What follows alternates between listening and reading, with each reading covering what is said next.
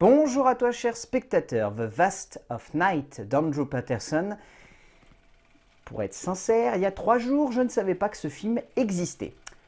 Heureusement qu'aujourd'hui, pas forcément avec la période dans laquelle nous sommes actuellement, mais en général, certaines plateformes de VOD réussissent à récupérer les droits de petits films indépendants qui sortent un peu de nulle part, mais qui ont des très bonnes idées de base. Et je remercierai jamais assez Chris Stockman de chroniquer ce genre de film, même dans cette période-là, parce que c'est grâce à lui que je découvre quelques petites pertes de cinéma indépendant. Et franchement, sur le papier, pour être sincère avec vous, j'avais prévu de parler d'un autre film qui était sorti en VOD au mois d'avril, qui s'appelait The Night Clerk, et je suis bien content d'être tombé sur The Vast of Night, parce que The Night Clerk est une énorme daubasse. Le résumé pour faire simple, à la frontière du Nouveau-Mexique dans les années 50, Faye et Everett vont vivre une bien étrange nuit lorsqu'au cœur de celle-ci, un bizarre son semble provenir de la radio où travaille Everett. Et j'ai beaucoup aimé The Vast of Night. C'est pas un film parfait. Je vais être honnête avec vous, c'est un film qui est pas mal bourré de petits défauts, notamment dû à son petit budget, à ses ambitions qui parfois sont peut-être un petit peu trop grandes par rapport à son idée de base, mais c'est un film qui est bourré de sincérité, qui va vraiment dans une direction qui est de l'ordre de je propose un bon concept et vous me direz à la fin si vous avez trouvé que ça se tenait ou si c'était maladroit. Et ce qui est intéressant, c'est que ça se tient. Ça se tient vraiment et c'est pas le genre de film devant lequel on va être juste, on va dire ébloui de 3 secondes et on va se dire au fur et à mesure que ça avance, ça commence à être un peu long, c'est un peu lassant, franchement ça aurait pu être mieux. C'est le genre de film qui commence avec une idée de base où on pourrait se dire ok c'est très classique, et plus ça évolue, plus on est vraiment pris dedans parce que c'est limite un petit jeu de Cluedo où il va falloir trouver 2-3 indices pour réussir à rassembler les pièces du puzzle et savoir qu'est-ce qui arrive à la fin. Et c'est ça qui est intéressant, c'est de jouer sur est-ce qu'on est dans la quatrième dimension ou est-ce qu'on est dans un épisode de Scooby-Doo où à la fin on va découvrir que tout n'était que supercherie et qu'en fait il n'y avait rien du tout. Et toute l'avancée que construit Andrew Patterson au travers d'un concept qui vraiment fait penser à du Rod Sterling arrive à donner lieu à ce métrage que je trouve très prenant, très intéressant, très juste et finalement très efficace par rapport à ce qu'il aurait pu être. C'est-à-dire vraiment une petite série B proche du Z, mais ça devient une bonne série B++. Comme je me tue à la répéter, Stephen King a raison. Lorsque l'on veut introduire du fantastique au cœur d'un film, il faut le faire avec le plus de simplicité possible et surtout le plus de réalisme possible. L'introduire au cœur d'un scénario ou d'une histoire déjà en cours pour lui donner encore plus de fondement et d'impact sur nous, spectateurs. Ainsi, le long métrage d'Andrew Patterson se pose ainsi, comme une œuvre déjà en cours, dans laquelle tout va basculer avec le plus de simplicité possible, et c'est cela qui rend son métrage particulièrement juste, vraiment entraînant, assez haletant même par instant, mais avant tout simple, à la hauteur de ses ambitions, comme s'il se voulait dans l'air du temps, comme un hommage brillant à Rod Sterling. En termes d'écriture, c'est donc écrit par James Montag et Craig W. Sanger. Et cette écriture, elle est assez bâtarde, soyons honnêtes. Il euh, y a des moments où j'avais l'impression que les deux scénaristes ne savaient pas comment pleinement emmener leur histoire.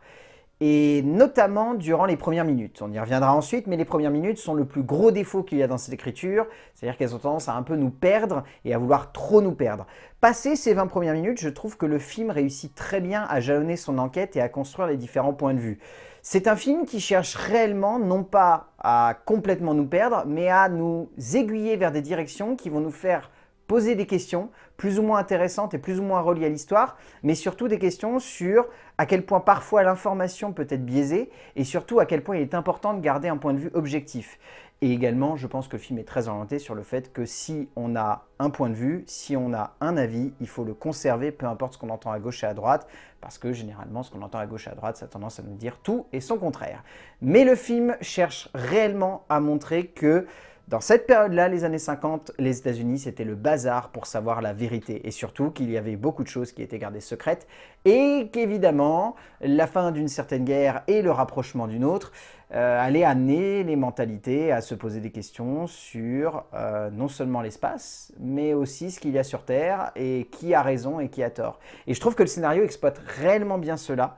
Après, c'est peut-être un petit peu un fourre-tout d'idées intéressantes qui par moments atteint des limites où on a envie de se dire ouais c'est bien, mais ce qui aurait pas eu quelque chose de plus concret à faire? C'est peut-être le plus gros défaut qu'il y a avec les 20 premières minutes à créditer malheureusement à ce scénario parce que Montag et Sanger avaient plein de choses à mettre dans, dans leur script, ça se voit. Après, est-ce qu'il fallait toutes les mettre? Peut-être pas. Sanger et Montag ont un peu de mal à placer clairement leurs intentions dès les premières minutes de ce script, abordant leur récit avec une certaine forme de nonchalance, comme s'il était nécessaire de brouiller les pistes avant de placer l'élément principal d'un récit reposant presque entièrement sur cette bascule.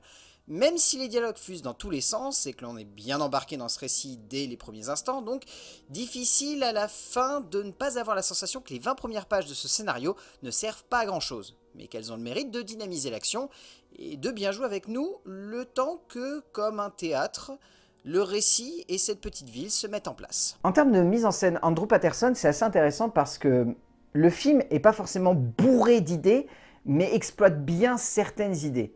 Ça se voit que ça a envie de jouer beaucoup avec la dimension nostalgique que peut avoir l'œuvre, non seulement par son histoire, par son contexte, mais tout simplement par l'idée de base qui fait réellement penser à la quatrième dimension. Là, pour le coup, on est complètement dans un épisode de la série de Rod Sterling.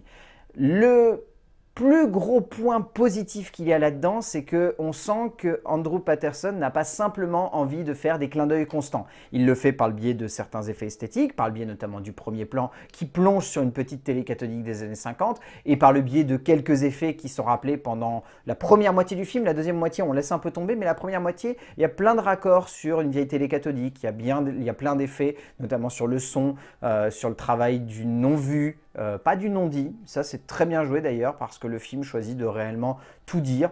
Euh, et Andrew Patterson met très très bien en scène d'ailleurs des instants où il y a littéralement juste des gens qui parlent et la caméra choisit de rien filmer et je trouve que c'est très fort, ça fonctionne très bien et notamment des très très bons plans séquences. Il y a notamment un plan séquence de milieu de film qui traverse littéralement toute la ville et alors ça crève les yeux qu'il y a très très très très peu de raccords en effets spéciaux qui ont été faits, qu'à mon avis ça doit être du 100% vrai quasiment tout du long et c'est assez ouf de voir à quel point c'est bien fait. Après, il est vrai que par moment, ça a tendance à un petit peu tirer la corde du regardez mon film, il est vraiment classe visuellement, c'est pas comme les épisodes de la quatrième dimension, c'était que des plans fixes. Et voilà, ça va pas forcément plus loin. Mais ça reste une proposition intéressante qui peut-être se limite à un exercice de style qui par moment atteint ses limites, mais c'est cool. Patterson tente énormément de choses avec sa mise en scène, et il est indéniable que si le métrage va au-delà de ses prémices de base et d'une certaine complaisance par le biais de son idée, c'est grâce à son envie de se la jouer, entre guillemets, hommage ultime à la quatrième dimension, mais avec des plans qui dynamisent l'action et le récit.